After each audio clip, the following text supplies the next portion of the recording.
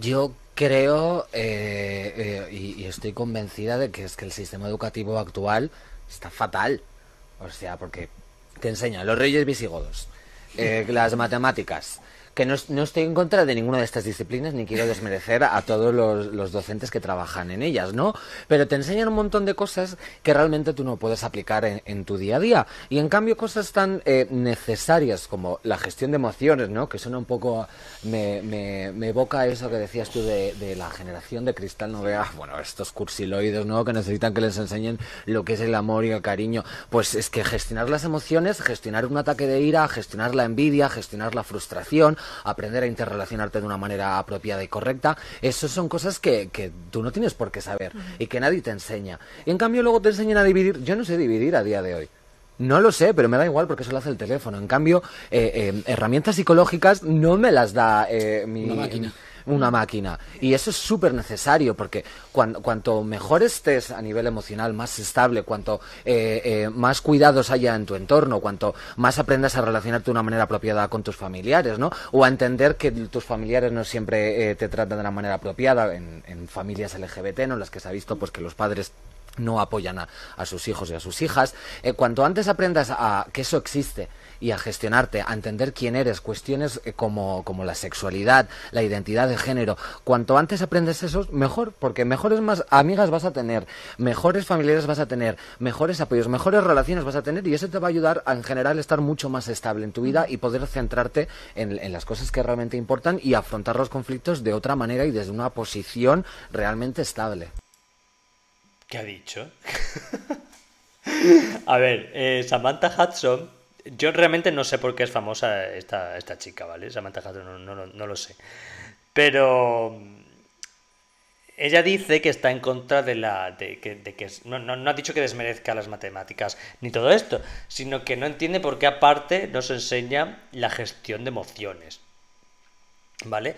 Y que ella no sabe dividir, me parece muy grave. O sea, entendería si ella si dijera que no sabe hacer raíces cuadradas o que no sabe hacer algoritmo, porque yo tampoco, sinceramente, yo ya no tengo ni puta idea, ni me acuerdo cómo se hacen eh, algoritmos, eh, ni logaritmos, algoritmos, no, perdón, logaritmos, ni, ni, raíces cuadradas y todo eso. Yo soy un paquete en matemáticas, pero oye, la matemática básica que no me sepas dividir, yo qué sé, de 100 entre 4, por ejemplo, haber dicho que no te salen las divisiones grandes, pero que no sabes dividir me parece muy heavy, tía.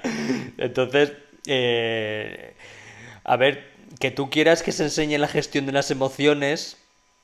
A mí tampoco me ha enseñado, me ha enseñado nadie la gestión de las emociones, pero es, es la gestión de las emociones es una de esas cosas que se aprende eh, cuando uno crece. Cuando uno crece mediante las vivencias de una persona, es como se aprende la gestión de las emociones. No, no el... Sí, perdón, he, dicho, luego lo he corregido, he dicho logaritmo, perdón, lo de algoritmo, joder.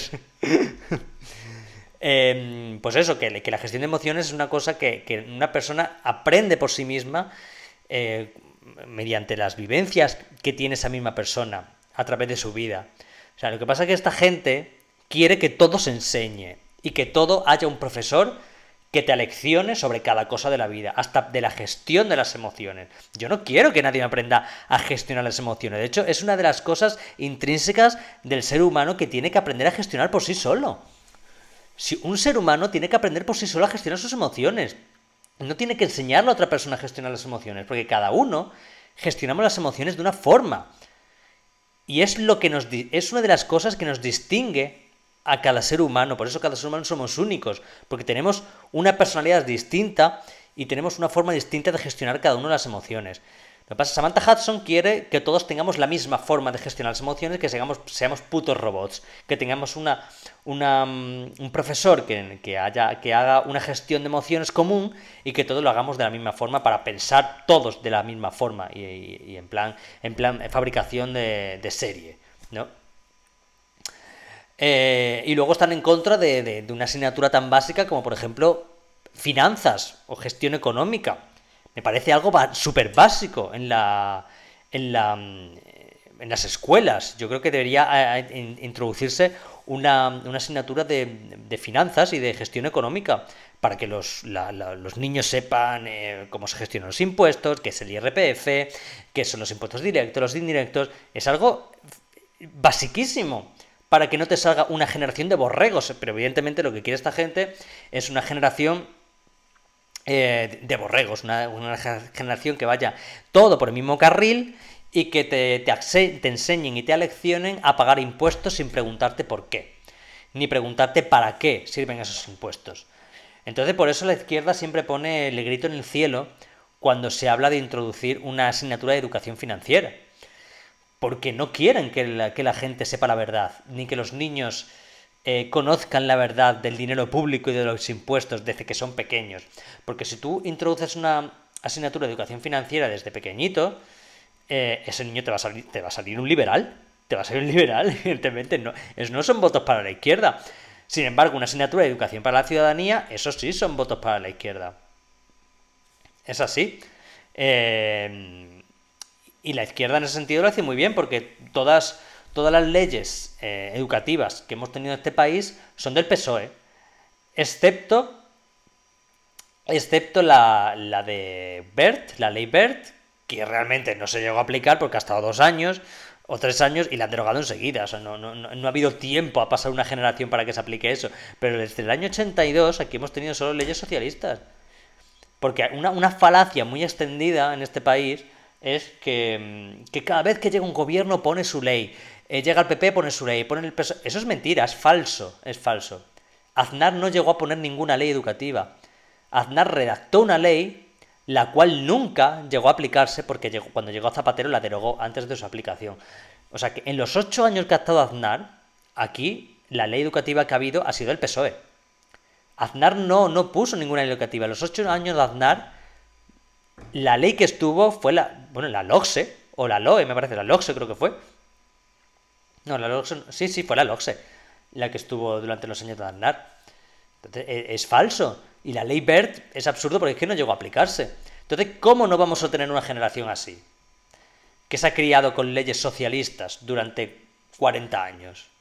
Normal que tengamos una generación de borregos, eh, pues tipo Alan Barroso, ¿no? Alan Barroso es como el paradigma de, la izquierda pop y de la izquierda ignorante en economía completamente.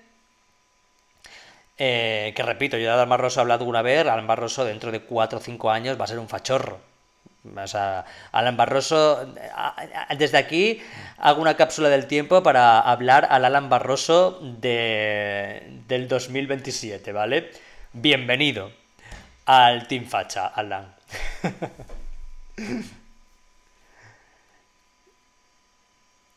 Sí, no, no, no aplico, aplico, vamos, que no aplico nada. No me acuerdo cómo se llama la, ley que redactó Aznar.